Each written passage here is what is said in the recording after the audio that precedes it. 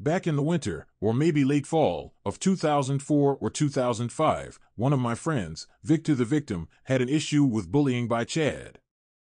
I can't remember what the bullying was, I only remember the most epic and nuclear of reactions. Victor attempted suicide and spent weeks out of school before coming back.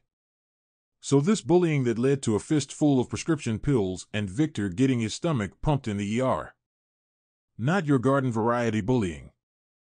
After months of attempts of doing things the right way unsuccessfully, we planned our attack. And yes, I consider it an attack. Before anyone suggests you could have shot his eye out, we discussed that possibility. None of us cared if that was the outcome. Quite simply, we waited until Victor was documented to be at work late one night. Our posse, four of us, gathered up a bunch of paintball guns and equipment, forest camo dark clothes, and jumped the bully in his driveway when he was getting home.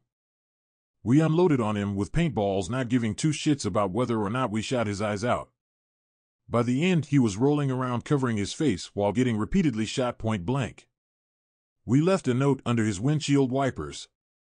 Next time will be lead. Leave Victor alone. Or you're dead.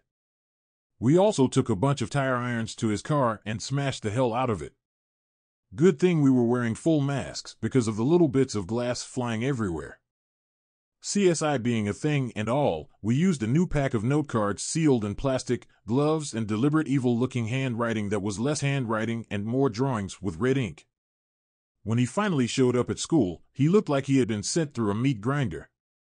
He was absolutely covered in blue and black welts and had several bandages on quite a few spots where the skin had been broken. Needless to say, the cops were called on the incident, and there was a big thing in the morning where the cops went into every homeroom class and asked if anyone knew anything about it.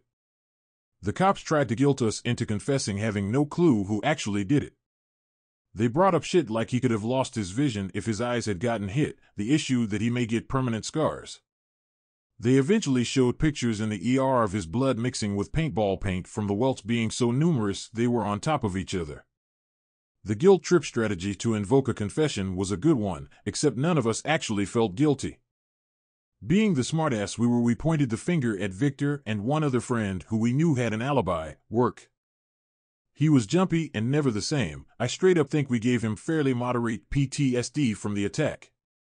Like we seriously psychologically damaged him. After a few months, he moved and didn't tell anyone where.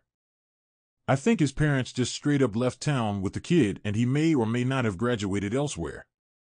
TLDR. Bully pushed friend to attempt suicide. We pelted him with paintballs at close range until he was covered in welts and broken mentally, and then threatened to straight up murder him. And we smashed the hell out of his car for good measure. Want to submit a story or have some feedback for us? Visit talesfromtheinternet.show or send us an email at feedback at talesfromtheinternet.show.